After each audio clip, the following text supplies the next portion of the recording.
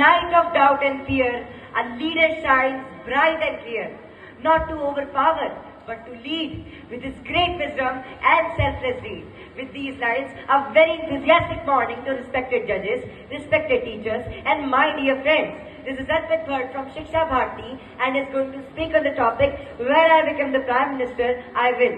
I have no intention of pretending in advance but if I become the Prime Minister, I will ensure that every Indian has a secure place to live with a strong defense system, has food to eat with prosperous farmers, cloth to wear and access to health care and quality education. In my nation today, out of 50% female population, only 10 to 15% are member of parliament. So, I will ensure that schemes are executed and women harassment is persecuted that we have a feminist and corruption-free nation. I would ensure quality education to my young minds to abolish child labor. I will stop paper leaks as I can see them crumbling my nation's future.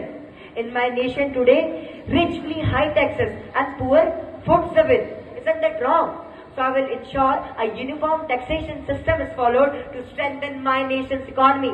Like the recent cyber attack in Uttarakhand, other states are also vulnerable to cyber attacks that can threaten national security via terrorism. So, I will recruit top engineers for government security, stopping brain drain as well. Our existence is completely dependent towards our environment. But today, due to disharmony between our developmental goals and environment, we have tsunamis, flash floods and whatnot. So, I would organize national summits for clean technology every month in which top technologists, top environmentalists can meet and can develop clean and green solutions for our problems. As a PM, I envision my India to emerge as a world leader under Vasudhaiva Kutumbakam. To achieve a politically, culturally and socially strong nation, we the young generation should work harder towards our national common future.